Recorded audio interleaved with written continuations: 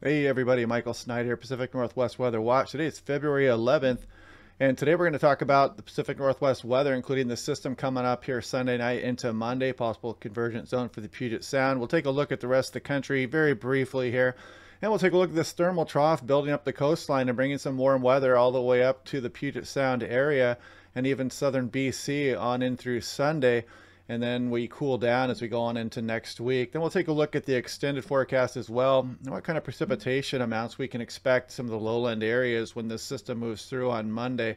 Taking a look at the visible satellite now, look at this interesting feature going on here. Look at this streaming of clouds here. This is a reverse convergence zone. It's a stratus layer that's being the winds are wrapping around the Olympic Mountains there and meeting on the westward side of the Olympics there. And you can even see a little eddy in there if you look closely in the stratus layer as these winds wrap around and converge on the western side of the Olympic Mountains there. And you can see the lower clouds and stratus layer through the Puget Sound. That should break up pretty well today. I think that most areas will see a lot of sunshine.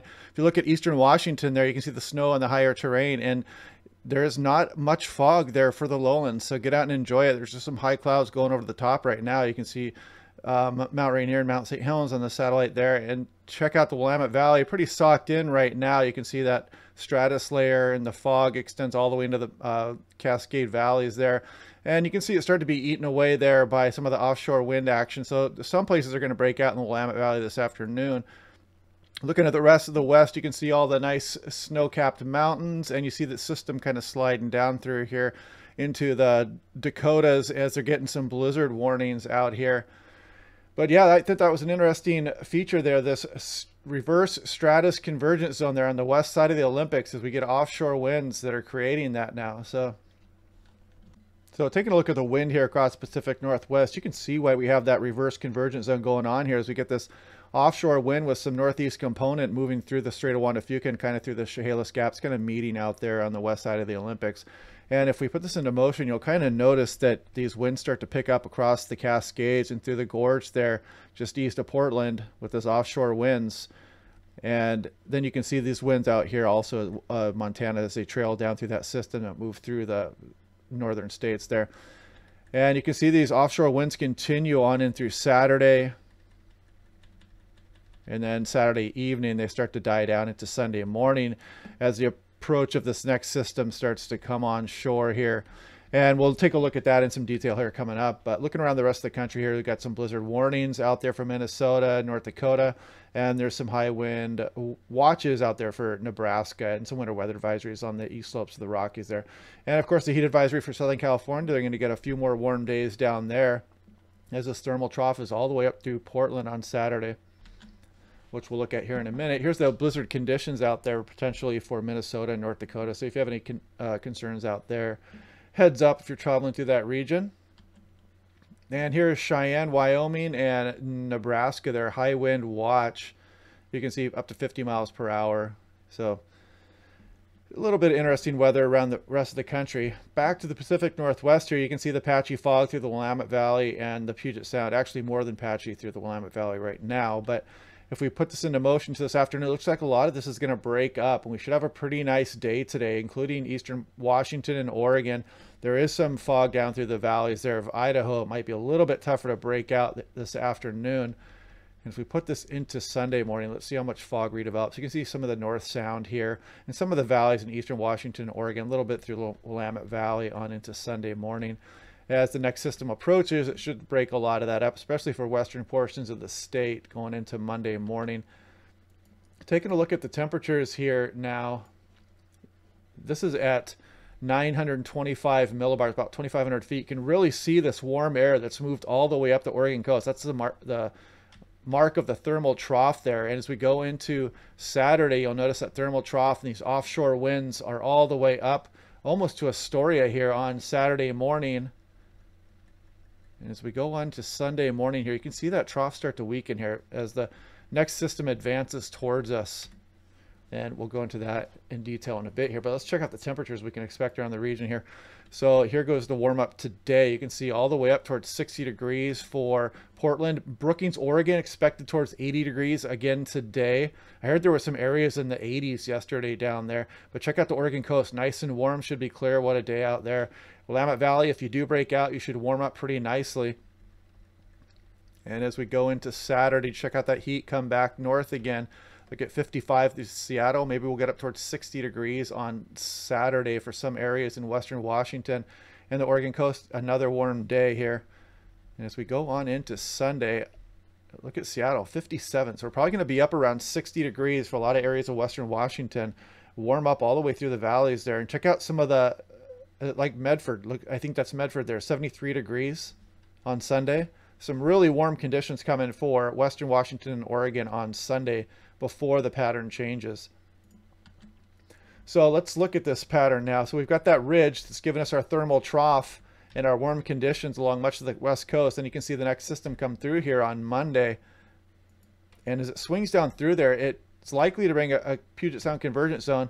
And this system's been trending west a little bit more, which is going to bring some unstable air into western Oregon as well as cool down Southern California. As you can see there, it moves uh, a direct hit all the way down to Southern California. So we'll be watching that in the next couple days and see what kind of impacts we can expect from that. Possibly a thunderstorm or two anywhere in the west, along the west coast, actually. We'll get some mountain snow out of this too, and we will cool down the region pretty well as that ridge kind of builds right back in there for a few days into next week. Now looking here, this is the temperature. Let's let's update this first before we go ahead and dive into this here is 850 millibar temperatures. You can see that thermal trough all the way up through the central Oregon coast, moving up towards Astoria even. And as we put this into motion here, notice Sunday that starts to weaken. It starts to shrink back down to the south. As we get into Monday morning here, you can see this really chilly air at 5,000 feet move over the area. This is not going to be any threat for lowland snow in any unusual locations or anything like that, but it is going to bring some mountain snow through the areas. And you can see these Cold temperatures move all the way down through Southern California, across the mountainous west, on into Wednesday, as the ridge then redevelops offshore here. So, but there are some signs in the extended that this is going to change. We're, we are going to get a pattern change. We're going to weaken this ridge in the extended, but still, looks like we're going to have to do with another redevelopment of the ridge going on into next week. But here's the system moving through. You can see some pretty good mountain snows coming through Washington and Oregon.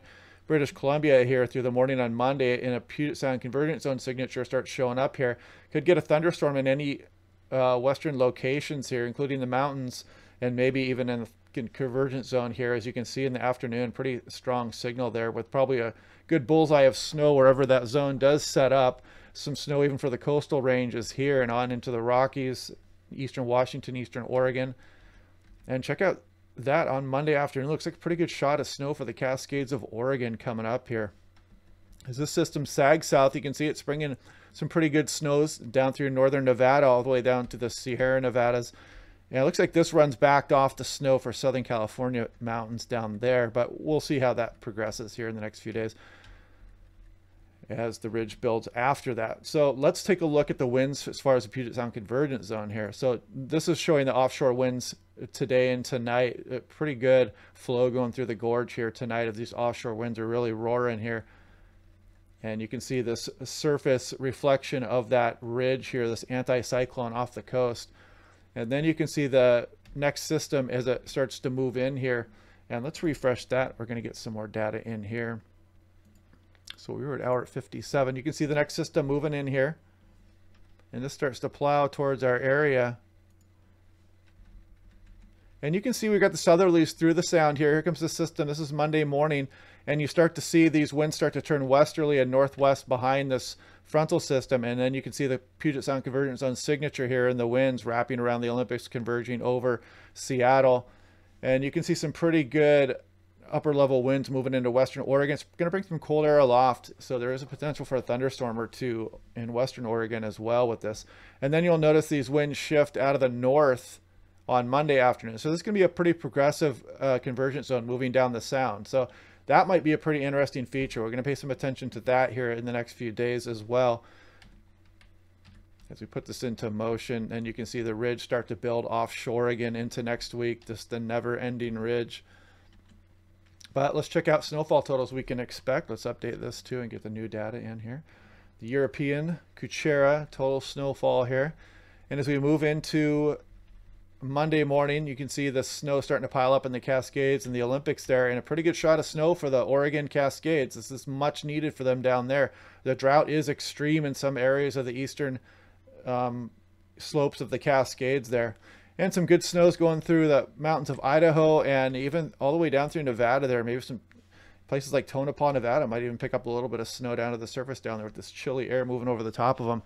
And the Sierra Nevada gets some good snowfall here too. So we'll take what we can get at this point. We've been so precipitation deprived that we need any snow that we can get for the mountains. I mean, this is not a lot. You could get some of the higher peaks might get up towards a foot for Washington, a little bit higher for Oregon, it looks like.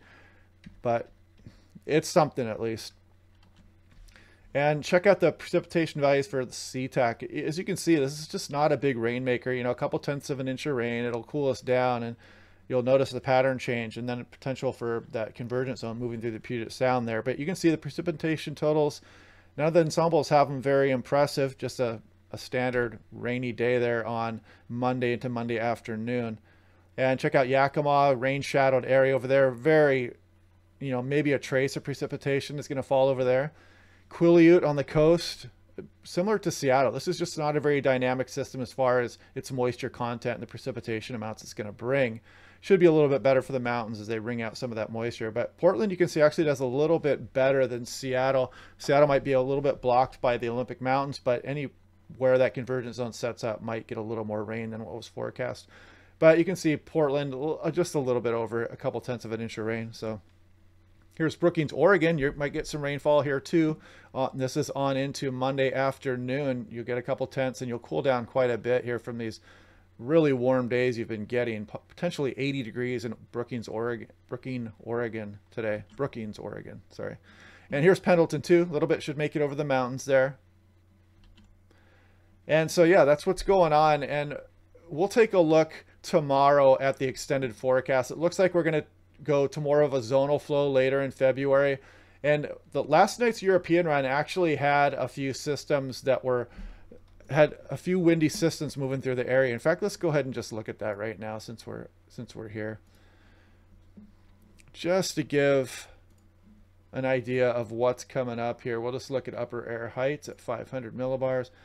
And let's do last night's run since it goes out to 360 hours. But here's the ridge dominating our weather, giving us our nice warm weather here. And here goes the system on Sunday night into morning. Comes all the way down the west coast. Big cool off. And the ridge redevelops. Looks like that starts to break down again on Thursday as a weak system starts to move through. And then we get troughing out over the Gulf of Alaska. And this is more of a windy, rainy pattern for the Pacific Northwest. So you know, might we might be able to build up some mountain snow here in later February to help us out with those drought conditions going on into spring and summer. Even though these ridges are just never far away from forming, it looks much weakened and extended versus what it's been for the last few weeks. So we've got that going for us. So we'll look at that system a little bit more in detail tomorrow and start to pinpoint some um, potential for lightning or maybe even some small hail with some of these showers that move through the Pacific Northwest on Monday, especially into Monday afternoon, maybe a lightning strike or two. So I will talk about that a little bit tomorrow. And thanks for watching, you guys. Thanks.